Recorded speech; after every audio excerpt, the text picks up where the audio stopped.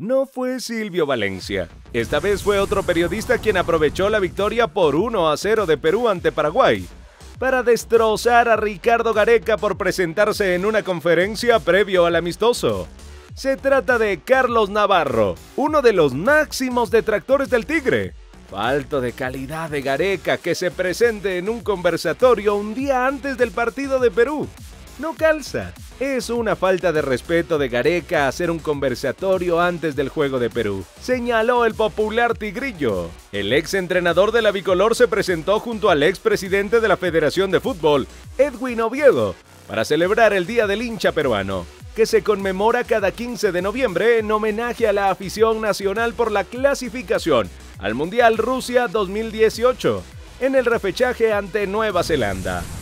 Navarro considera que es de muy mal gusto que el argentino continúe realizando charlas en nuestro país, porque lo señala como el principal culpable de la eliminación de Qatar 2022. La pregunta es, ¿por qué no dirige a Colombia, Chile, México o el mundo árabe?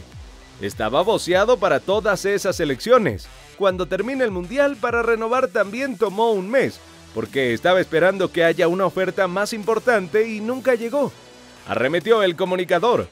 Al hijo de Tito le cayó muy mal que en la charla estuviese acompañado por Oviedo, quien fue a la cárcel por tener problemas judiciales. Cree que se aprovecha de la popularidad del entrenador para limpiar su imagen y reinsertarse a la sociedad. Esa es mi lectura. No le encuentro otra fórmula de leer este conversatorio. Añadió. Pero no es la primera vez que se enfrasca en una pelea con Gareca. Desde que en el 2015 el argentino llegó a la Videna para asumir la blanquerroja, siempre fue uno de sus principales opositores.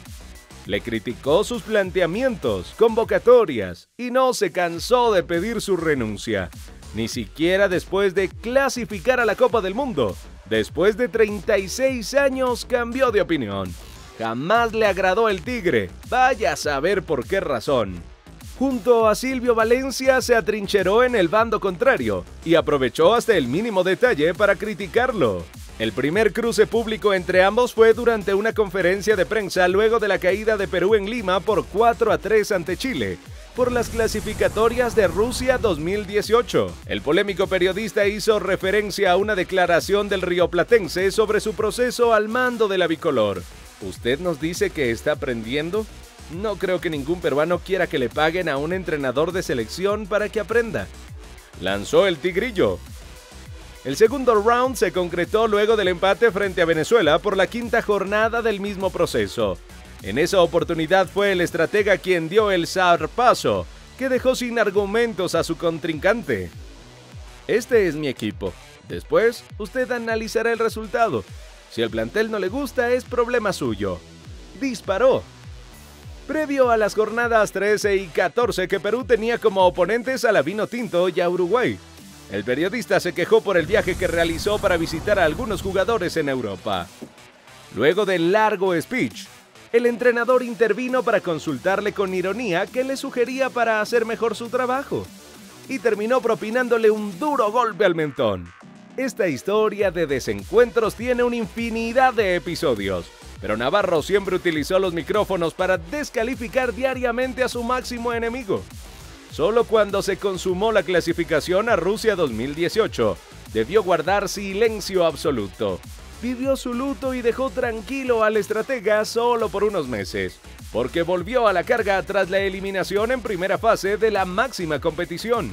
Pese a que el Tigre no es más adiestrador del combinado patrio, el Tigrillo sigue buscando razones para pegarle dialécticamente. ¿Y tú qué opinas?